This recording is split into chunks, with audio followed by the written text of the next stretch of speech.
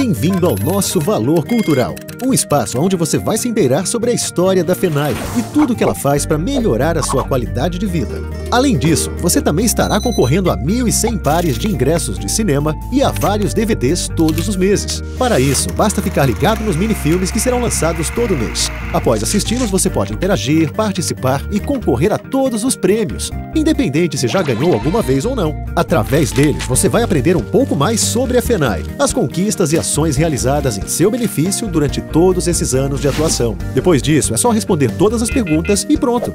É fácil ou não é? Então vamos à primeira conquista? Prepare-se, pois o desafio começa agora.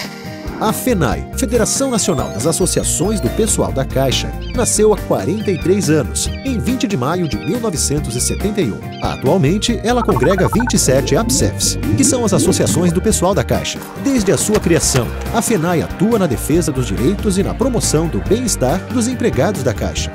Onde há luta pelos interesses do pessoal da Caixa, a FENAI está lá.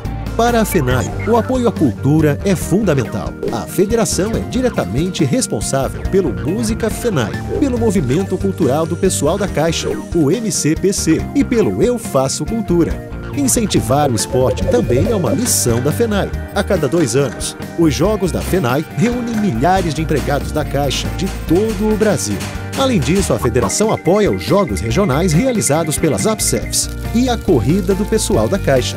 A FENAI oferece benefícios aos seus associados por meio de convênios nas áreas de cultura, turismo, educação, e-commerce, transporte, entre outros. Agora que você conheceu um pouquinho mais sobre o trabalho da FENAI, que tal colocar à prova tudo o que você aprendeu aqui? Responda corretamente as perguntas que vêm a seguir e concorra a 1.100 pares de ingressos ou DVDs incríveis. É rápido, simples, não custa nada e você só tem a ganhar.